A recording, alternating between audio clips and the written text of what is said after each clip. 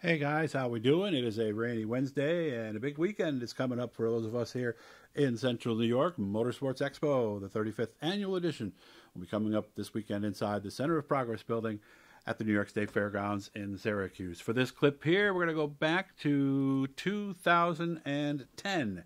This is the setup day. There's Mike Schultz, uh, very prominent in iRacing circles nowadays. This was back when he was running stock cars. And this was the setup day, so this was the 12th, so this was on Friday night.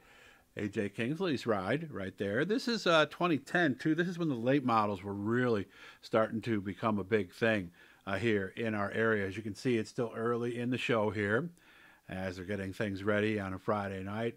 Back when IMCA modifieds were all over the place and uh, a lot more popular than they were today. I'd like to see them come back and be a little more prominent in Central New York, but with all the sportsmen and everything, it's it's kind of tough. Was this Joe Gwilt? I'm not sure. I don't remember the last name. I believe he was a mod light racer turned late model racer, and I think this was about the time that um, the late models started showing up at Fulton Speedway on Saturday night. Had a cutaway car from the Monster Mile at Dover. It was nice to see the bigger tracks coming to this event. They had another car there as well. And uh, I love those uh, RVs like that where there's room in the back for like a, a side by side or a four wheeler or something like that. And you can go out and have some fun wherever you are. So it was always nice to be able to check out some of those there.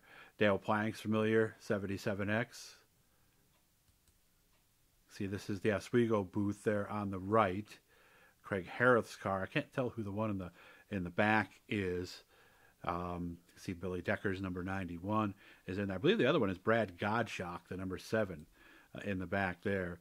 Here's some of the limited cars. Bill Moore's cars. These were the, all the Lighthouse Lanes cars, all the Bob Hofer cars. And by the way, if you've never been up to Lighthouse Lanes, man, you guys really need to get up there up in Oswego. It is the nicest bowling alley around, period, bar none. So get on up there, bowl some games. Uh, Bud Bowl, I think, is happening maybe this week or something like that. Make sure to check. Of course, Asphalt Modifieds. There you see the Ruggles family. That was back when uh, both um, Daryl and Alicia were running in the 600s. So they had a couple of 600s there. They always did a nice job uh, on their booth, kind of looking down the row of limited supers. You can tell because the engine's not all the way over on the on the left side. Love the look of asphalt modifieds. This is a good looking one right here. And again, we just found out one of our friends is doing one of those. ISMA Ride, this is Russ Wood, so I believe that's uh, the John Koloka owned car. There's a little close up of the engine. Boy, those things are something I've been having a lot of fun learning about the world of supers and winged supers. And how, how, much do we enjoy this? People my age. I mean, I'm I was born in 1961, and man, these were the books back in the day. That's how a lot of folks, the early racers, learned how to do the stuff that they did back when um, you know a race car was something you had to make and fabricate and all that stuff. So I loved it when they used to have all the books.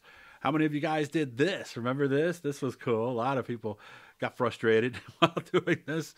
Uh, let me see. 2010, Allie would have been uh, seven at the time, so I'm sure she was doing a lot of this with me, as, as that was the case there. So, and I believe this was uh, Tim Devendorf's car. Correct me if I'm wrong, but I'm pretty sure that's what he was doing. And this again was just a little stuff uh, from the setup there on the Friday night at Motorsports Expo.